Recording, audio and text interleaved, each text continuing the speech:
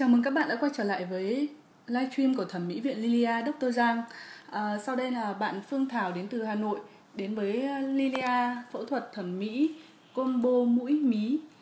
Trước phẫu thuật thì hình ảnh của Phương Thảo đối với đôi mí à, bạn đã từng nhấn rồi cách đây một thời gian khá là lâu nên là mí của bạn đã bị sụp nhá. Các bạn có thể thấy là mí nếp mí mặc dù là còn hai mí nhưng mà nếp mí còn bé.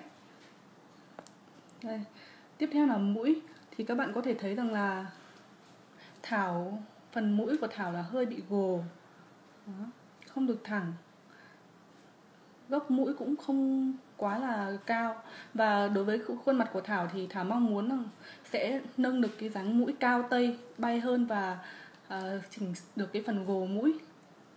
Đó. thì sau khi được bác sĩ giang tư vấn thì thảo đã tiến hành nâng mũi và cắt mí thì sau đây kết quả các bạn cùng theo dõi kết quả của Thảo nhé. Đấy, các bạn có thể thấy rằng là phần mũi của Thảo đã được phần gốc mũi đã được đẩy bay nâng cao hơn phần đầu mũi đã bay hơn và đặc biệt là phần gồ mũi đã được cải thiện. Tiếp đó là mí mắt thì mí của Thảo đã được cắt bỏ và bóc mỡ để tạo được cái nếp mí to và nét hơn. Các bạn có thể cùng quan sát các góc phần đầu mũi đã bay hơn rất là nhiều.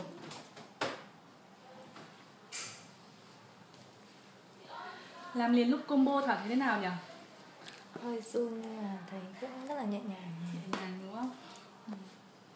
thằng có hài lòng kết quả hay không? Đây mình cầm cái gương so nhất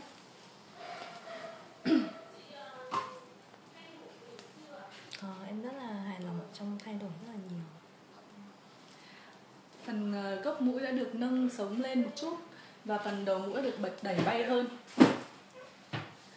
đã cải thiện được cái phần mũi gồ cũng như là phần đầu mũi quá dài ngày xưa của mình bây giờ mũi rất là đẹp hai nếp mí nếp mí mắt cũng đều rất là cân và đẹp nhé